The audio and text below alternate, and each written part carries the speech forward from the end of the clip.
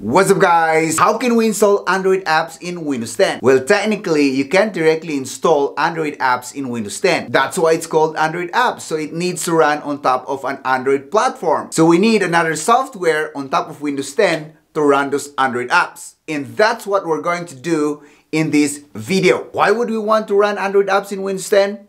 Here are several answers I have for you that I experienced myself. Number one, there are these great apps in Android that you want to have full control with a mouse in the keyboard. I like the touchscreen with my phone or my tablet, but at some point, like games, sort of those things, you want to have that point and click accuracy with a mouse rather than doing the touchscreen on your phone. So it is much more convenient doing the mouse in the keyboard at some point. Not every game that you play, not every app that you use in Android. For some people, the specification of their phone is not that high-end enough. They want to have the latest software with Android. They want to play a high-end game or run a high-end application but their phone cannot handle it. Now imagine your laptop or your PC running that application. Those are the reasons why people do it. Jump in and I'm going to show you.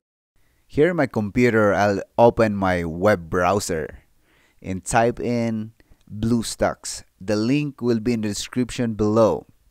You can click that one so they can go to the website right away. This is the website. As you can see under advertisement, you can install multiple games, not only games, even applications on Android. Now let's go back and download the app. Download. Okay, here on the lower left corner, the pre-installer is ready. Just click and it will open up. Okay, BlueStacks. Let's go ahead and click install now. And it will download additional software that's going to use for the BlueStacks. So this will depend on how fast your internet is. So this is around 500 megabytes. Now what I'm going to do is do a fast forward so that it will be finished right away. So if you're following me right now, you can just go ahead and pause this video, wait for your download to finish up, and then you can go ahead and play it back. So we're continuing for the installation. It's done. And this is what we have for your BlueStacks. There are additional setup. Again, this may take 2 to 3 minutes depending on the PC's performance. So I'll just do a quick fast forward for this. There you go. Now it is once it's done, it is like setting up your phone for the first time. So you need to set up Google Play, log in with your Google account so that you can install apps. So that's what I'm going to do.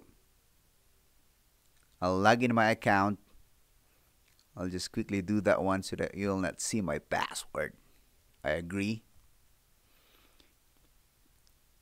Accept. And there you go. Android on top of Windows 10. Let's click Google Play and try to install some apps. I was trying to install PUBG, but when I checked the size, that was 1.71 gig. So I went to Clash of Clans, where this is 115 MB, and quickly fast forward this one so that we can see the effects or the outcome. Let's open. Hmm, Supercell. There you go. There you go.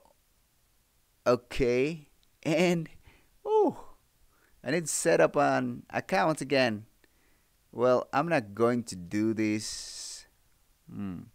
Just so you see, we can set up games on Android on our Windows 10. Cancel. Let's try to install another app. Let's try Need for Speed. I hope we are not going to set up an account here. But most likely I think we need to. Open. And what's happening? There you go. Need for Speed. Oh no, we need to download additional uh, service packs or what's this? Needed files for Need for Speed anyways, you get the concept here that you can install any Android app on BlueStacks so that you can do it on Windows 10. Okay? Yeah! Thank you for watching our videos. If it's your first time here, consider subscribing. If you have learned from my videos, like because it helps the channel grow. And I'll see you in my next video. Goodbye.